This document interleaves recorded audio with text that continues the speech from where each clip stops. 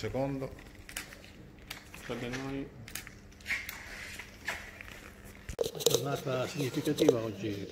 Assolutamente sì. Ehm, una- eh, dico spesso che uno dei problemi principali è la conservazione della, della memoria di ciò che è stato.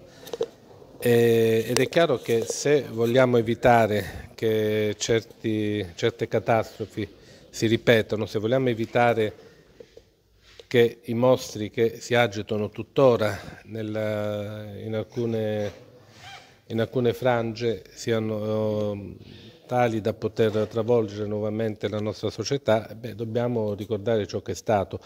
Cioè, l'istituzione del giorno della memoria non è solamente il- il- la memoria eh, della Shoah, che fu una tragedia indescrivibile, si fa fatica anche a immaginare che si possono uccidere delle persone solo perché praticano una certa religione, non voglio anche dire appartengono a una certa razza perché mi vergognerei a dire una cosa del genere, ma ehm, d'altra parte c'è anche chi mette in dubbio no, l'esistenza, della, l'esistenza della- storica della Shoah. Ricordavo poc'anzi, eh, l'ho letto proprio in questi giorni, che quando, il- quando gli alleati cominciarono a liberare i vari campi di concentramento, il generale Eisenhower, che era il comandante supremo del, um, degli eserciti alleati, raccomandò di eh, fare quante più fotografie era possibile, perché lui disse un domani ci potrebbe essere qualche idiota che potrebbe dire che tu- queste cose non sono mai esistite. Quindi raccomandò ai suoi uomini che si registrasse e si fotografasse quanto più possibile l'orrore.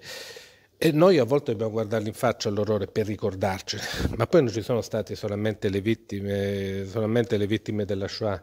Pens- Pensiamo ai milioni di deportati di tutte le nazioni europee e pensiamo anche ai nostri deportati, ai nostri internati.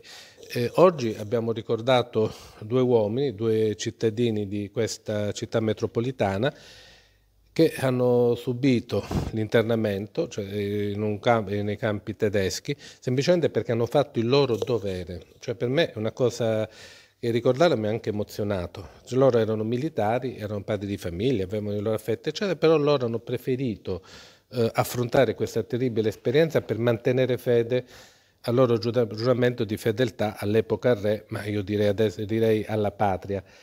E nel far questo sapevano quello che andavano incontro, però l'hanno subito.